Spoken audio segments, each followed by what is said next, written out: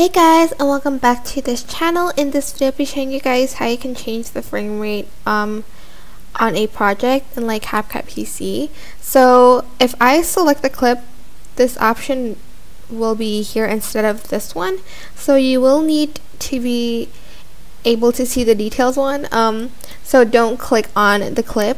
You have to select modify on details and as you can see there is this frame rate um, option and you're just going to select it. And here you can change the frame rate to for instance 60 frames per second. And I'm just going to press save. And it's going to change the frame rate to 60 frames per second. And when I export that you can also like when you export it you can also change the frame rate here to 60 frames per second.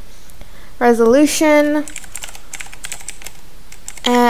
you're just going to press export. I'm going to untick this by the way and I'm just going to press export. And that's pretty much how you can change your frame rate in CapCut PC on like a project. Super simple but I hope this tutorial was helpful for you guys. Don't forget to like comment share and also subscribe to this channel if you haven't done that already. If you have any questions just leave it in the comment section down below and I will try my best to answer them all for you guys. If you found this video helpful, please click the thanks button above the description box down below. Thank you so much for watching. Bye!